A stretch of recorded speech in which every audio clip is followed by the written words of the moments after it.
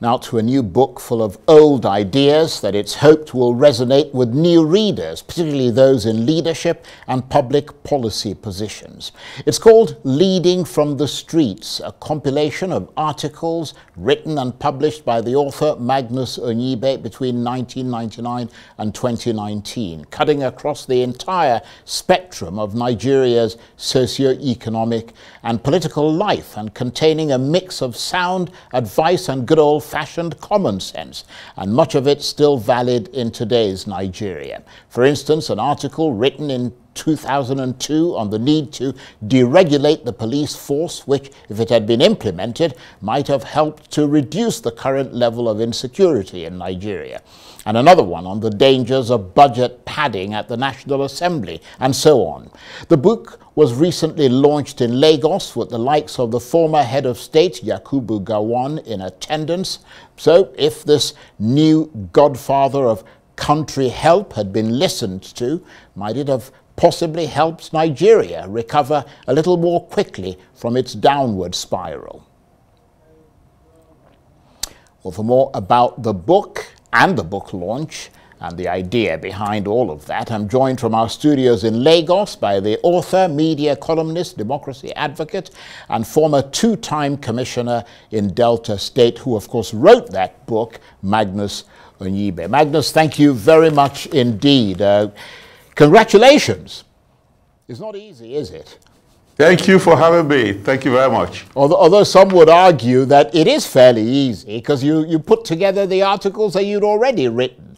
But they're, they're very significant, aren't they, those articles? Yes, they are. You know, they are old articles that I've written um, um, before 1999. In fact, it dates back uh, beyond 1999. Um, I wrote them not uh, believing or having in mind or even imagining that some of the things we discussed at that time will still be relevant today. But most of them are resonating, you know. So, uh, so much has changed and not much has changed, unfortunately. That's a really good way to put it. And, and, I expect that a lot of people would agree with that. But let's, we're talking about you and the insights that you had um, to kind of write those articles when you did. I mean, at some point, I suppose you started getting more cynical about leadership in this country. And then there was a sort of journey from, I presume, cynicism to sincerity when you realize that cynicism isn't mm -hmm. going to be enough and that you had to help the country move Absolutely. beyond the corniness of, of, of its leaders. And, and that's how you kind of, I mean, I'm presuming that's how you got into doing this. You're spot on. You're quite spot on. I am uh, an advocate. I am not uh, a critic. I look at issues and uh, I look at the best ways to which we can solve the problems or challenges that we face. And uh, each administration faces different challenges.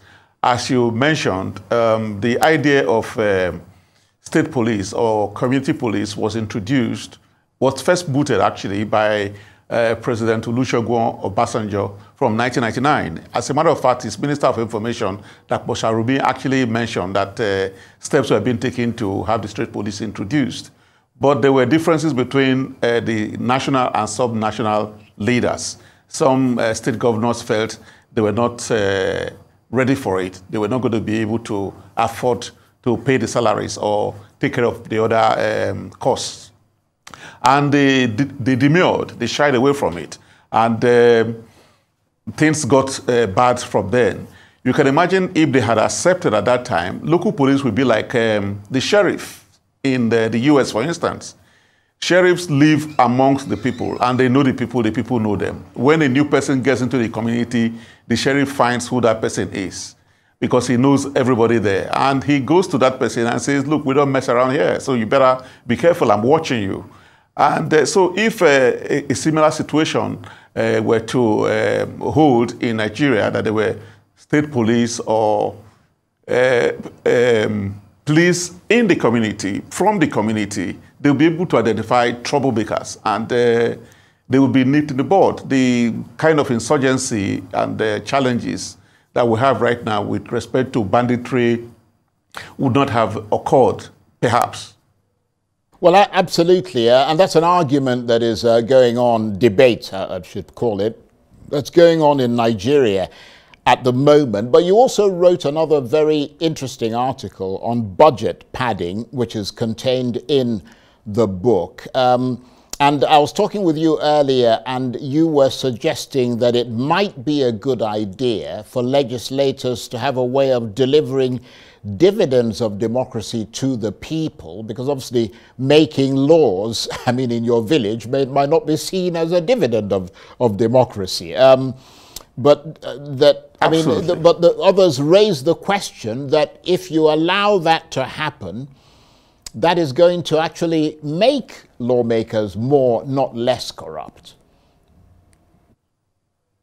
No, it, it's not going to make them more corrupt because I think that um, we have peculiarities in Nigeria, for instance. We are practicing the presidential system of government, and uh, basically, um, the executive uh, delivers dividends of democracy, and uh, the legislature delivers uh, makes laws.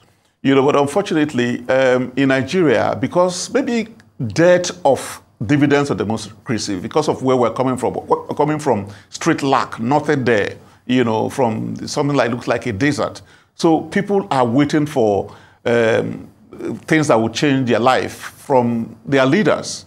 And uh, the way the presidential system is, uh, is wired, it's only the executive that can deliver dividends of democracy. And uh, the legislators are just content or should be content with making laws. But both the executives and the members of the legislature actually go out to campaign. They mount the rostrum and tell the people that they're going to do this, they're going to do that. And at the end of the day, the legislators don't get to do that because that's not their role, it's the role of the executive. Now, they begin to feel like they have to do something. So they start uh, doing something by padding budgets. When the budget gets to them, they try to put in something. They found a name for it, constituency projects, you know, which is actually really, you know, uh, you know, not uh, quite legal, you know, not uh, quite constitutional. So, and this has been going on right from the days of President Obasanjo, 1999. When he complained about budget padding, he was threatened with impeachment because uh, we had just started the process of democracy at that time. So impeachment was, uh, you know, always a, a big uh, weapon that uh, is wielded each time the executive arm, you know, uh, misbehaves or uh, tend to be seen as having misbehaved.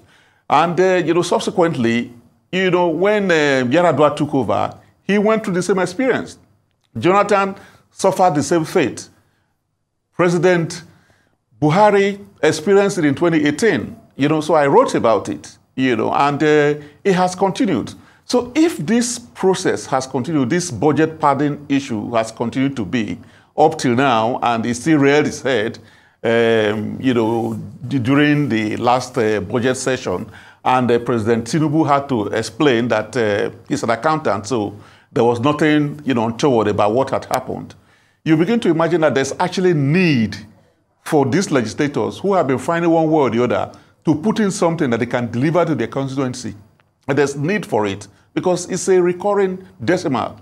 So if there's need for it, why not legitimize it? Make it legitimate. Because they're just about to review the constitution. Somebody will say, okay, fine, that's not, you know, how the presidential system is wired. You know, we are also saying, some, some people are saying, okay, are we going to do the presidential or the legislative uh, or, the, or, or the, um, the parliamentary system? But some people are saying, let's do a hybrid. There are countries practicing hybrid, for instance. France, for instance, is practicing constitutional democracy. The same thing as Ghana to some extent. So we can find a way to accommodate ourselves so that we can do legal things. As far as I'm concerned, and I think to the, to the best of my knowledge, and uh, a lot of people have uh, actually um, confirmed this, constituency project, constituency project is actually an aberration of sorts. So why don't we find a way to make sure that we accommodate legislators, that they are able to also give their people that they made promises to dividends of democracy. Somebody is saying to me, as you just pointed out, that will, the legislature will become more corrupt. I say no, because these projects will be tagged to them. It will be in the budget, it will be clear that For instance, I come from Delta State, I'm from Delta North, and my senator is Ned Nwoko. If some school projects, water projects, or whatever project is allocated to my place and is, is stated that it is the responsibility of Ned Nwoko, who is awarding the contract or who supervises the award of the contract or who knows about the contract, and at the end of the period, those projects are not there, we will hold his feet to the fire. Well, to be honest, yeah, to, you know, to, it will to, get people more more involved. Yeah, I understand what you mean. I mean, there is, there, I mean, there, there, are bits of it that make sense, but the other part of it is the, the bit about budget padding. I mean, I, I don't see how that's going to stop budget padding because, I mean, they'll simply pad out the, the projects they put in the in the, in the, the budget and say that it's going to cost cost you know 100 million naira when it would have cost 50 million naira but I mean, when policymakers, because I was looking at the pictures from your book launch there, and I mean, let's face it, the who's mm. who in Nigeria were there. Mm. Um, I don't know if active members of government were there, but certainly, I mean, former governors, former heads of state, ministers, all the rest of it, former ministers were all there. I mean, I, I wonder when policymakers read a country help book like yours, is there that element that this is all stuff that we already knew and it's just that someone has put it into a crystallized form? I mean, I'm not trying to do you out of your considerable work here, but why is it that we need to put this into a book rather than letting common sense prevail? I mean, there are things you've already written, I mean, these are things you've already written about publicly. Is there something about seeing them afresh in a book? Absolutely. You know, first of all, out of over a thousand articles that I've written since 1999, we selected 77 of them and put them in seven chapters. Uh, these chapters uh, de deal with um, different segments of society, from politics to religion. Okay, and each of these chapters has afterword writer. The afterword writer is somebody uh, that is contemporary and has knowledge about the area focused on in that chapter. And, you know, so that person validates or invalidates what I had written maybe 20 years ago or 22 years ago. It brings in fresh perspective, fresh energy. And now, the reason for putting all this together in a tome actually was captured by the chief of staff to the president, uh, Right Honorable Femi Gbajabiamila, in a letter that he wrote to us. He couldn't come because of uh, the assignment that he had uh, in Abuja. He wanted to send a representative. Uh, unfortunately, the letter didn't get to us on time, so we didn't give him a go ahead. We invited practically all the governors in Nigeria. We invited most of the legislators. I sent them copies of the book through logistic firms, GIG, free of charge. None of them showed up. Reason being that, you know, somebody said, you know, that if you want to hide, hide something from the black man, put it in a book. You know, but I don't believe in that because I don't have evidence to show that. So I decided I was going to send the book to everybody. This book is a compilation of everything. And when people went, want to learn from the mistakes of the past, they either go to the library or go through so many books. But everything is compiled in a tome, in one single book. That is what the chief of staff recognized, and I was really impressed that he did that. So that people just you just have one book where you find all the mistakes that past leaders have made, and you learn from those things. You avoid the banana peels so that you can go ahead. Because if you don't learn from the past, how can you move forward? So I expected, you know, that uh, the head of state, General Gowon, having been in government himself, made a strong recommendation. He went through it. He said, look, anybody who wants to be in leadership now or in the future has to read this book because there are nuggets of wisdom in it. The news of yesterday is history of tomorrow. Okay? So these were news. What is contained in this tome, in this book, were news items of 22 years ago, 24 years ago. Today, they are historical because things that President Obasanjo did, for instance, in 1999, is historical. But when right. I was writing these articles, they were news items, they were current affairs. I understand you know, right that. now they are historical. So they are kept in this storage for people to have easy reference from right. one book. Well, let, us so uh, it, we, it's uh, something. It, it, it's, it's, quite innovative and different. Right, I understand what you mean. Uh, let's talk. I mean, we've got just a couple of minutes, uh, two minutes or so left. Unfortunately, we're running mm -hmm. out of time. Let's talk mm. about the title. Mm. Leading from the streets, media interventions by a media intellectual, which seems a rather self focused title at first glance. I mean, you refer to yourself as a media intellectual. What was the idea behind that? Yes, media intellectualism actually is a coinage of uh, Joseph, of uh, Russell Jacoby. He coined it in uh, 1987. And it's about intellectuals who think for the public. They, they don't rely on theory alone. They come into the street and put it in practice. A typical example is uh, somebody that uh, was on not long ago, uh, Dr. Sam Amadi. He's a public intellectual. He's always in the media analyzing, you know, uh, issues, policies. Another person that comes to mind is uh, Professor Bolaji Akinyemi. He's an intellectual. He's a specialist.